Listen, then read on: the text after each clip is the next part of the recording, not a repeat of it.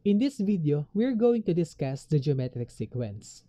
Geometric sequence is a sequence of numbers in which the ratio between consecutive terms is constant or the common ratio. Let us consider this sequence. We have 2, 6, 18, 54.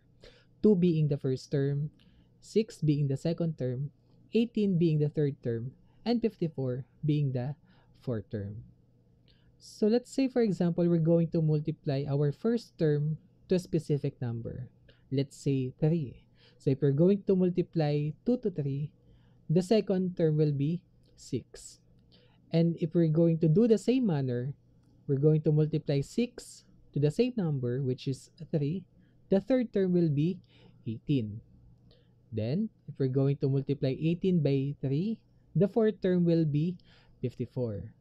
Now, in the other side, if we're going to divide a term to a previous term, we will get the same number or the same ratio. Let's say, for example, our second term divided by our first term, or 6 divided by 2 will be 3, or the quotient is 3. 18 divided by 6, the quotient is also 3. 54 divided by 18, the quotient is also 3. So in this sequence, the common ratio is 3. Now let's have the formula for geometric sequence.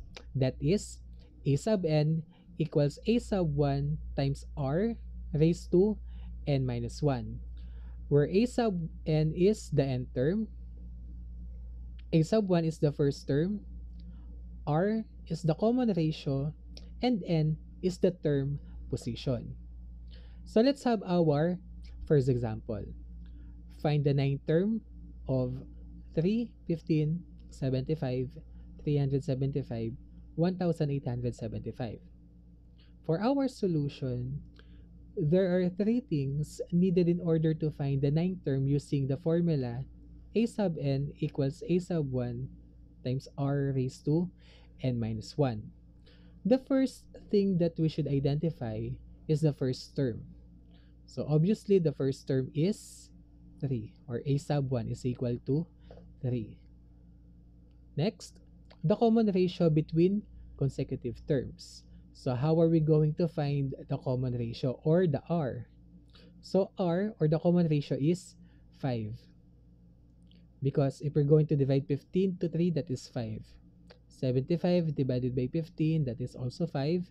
325, uh, 375 divided by 75, that is also 5, and so on. Now, also we're going to identify the term position, or n.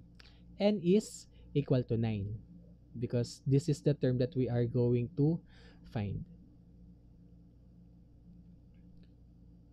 So in by substitution, we have a sub 9, this is the term that we are finding, equals 3, this is the first term, multiplied by 5, this is our common ratio, raised to n minus 1 or 9 minus 1. The term position minus 1. So let us simplify. We have 3 times 5 raised to 8. 5 raised to 8 is equivalent to 390,625. And if we're going to multiply it by 3, the, the ninth term will be 1,171,875. Now let's have our second example. Find the seventh term of 8, 4, 2, 1, 1 half. For our solution, this is our formula. We have a sub n equals a sub 1 times r raised to n minus 1. Our first term is 8.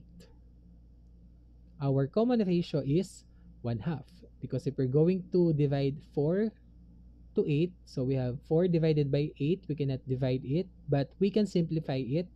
4 divided by 8 is uh, divisible by 4, so we have 1 half. Also, we have 2 divided by 4, so we have 2 over 4, that is also 1 half. 1 divided by 2, that is 1 half. So our common ratio for this sequence is 1 half. Now let's identify the term position. So we are finding the seventh term. That is why n is equal to 7. Now, by substitution, we have the a sub 7, the term that we are finding, equals 8. This is our first term multiplied by our common ratio which is 1 half raised to 7 minus 1. The term position minus 1 or 7 minus 1. So let's simplify. We have 8 multiplied by 1 half raised to 6. 6 came from 7 minus 1. Then by simplification, we have uh, 1 half raised to 6 that is equivalent to 1 over 64 because 1 raised to 6 is still 1 and 2 raised to 6 is 64. Then we have multiply 8 to 1 that is 8 over 64. Then the lowest term of 8 over 64 is 1 over 8. 1 over 8 is the seventh term of the geometric sequence. Now let's have this example. In geometric sequence, the first term is 2 and the fifth term is 162. What is the third term? So for our solution, here is our sequence. So we have the first term is 2, then uh, the second term is not given. We are finding the third term. So the fourth term is also unknown. And the fifth term is 162. So we have the first term, the second term, the third term, the fourth term, and the fifth term.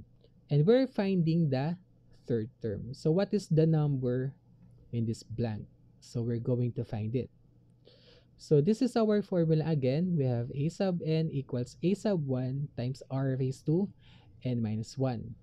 So the given are, the first term is 2, the fifth term is 162, the, the, the n term or the term position is 5, and what we are finding is the common ratio.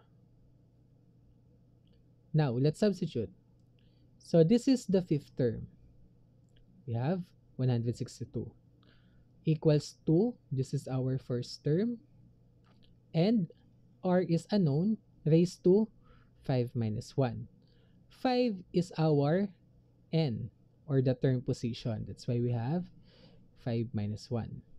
Then we're going to simplify. We have 162 equals 2r raised to 4 then we're just going to isolate r by dividing both sides by 2. So to cancel 2, then we have r raised to 4 equals 81.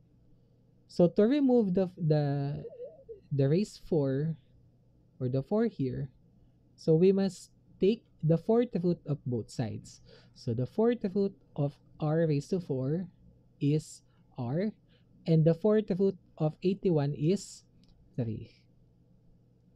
So we have now the common ratio. Then, this is our first term, 2. If we're going to multiply it by 3, we're going to find the second term.